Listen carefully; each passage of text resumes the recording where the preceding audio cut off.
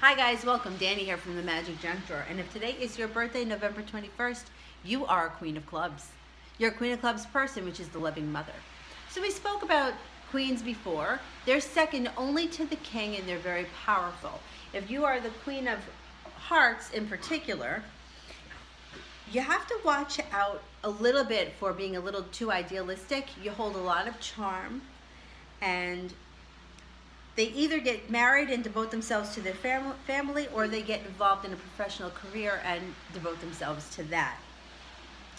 They have more than average ability for to be successful in many professions regard, regardless of their sex. They have especially good luck in professions where men are predominant. So if you are the loving mother card, you were born on July 29th,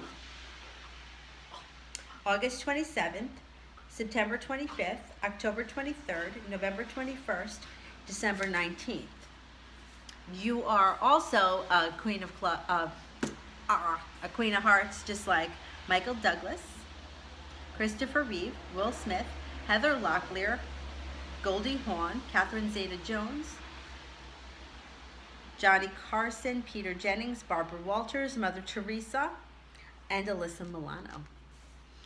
So the loving mother card, you want to watch that you don't give too much of yourself to one thing. You either devote yourself to your family or devote yourself to your job. Maybe you might want to work on trying to balance both. Just a suggestion, but you know, I like to see balance.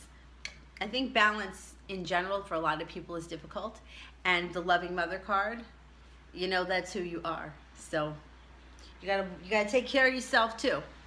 All right, if you like what we're doing here at the Magic Junk Drawer, don't forget to like and subscribe. Share us with your friends, and we will see you soon. Thanks for watching. Bye-bye.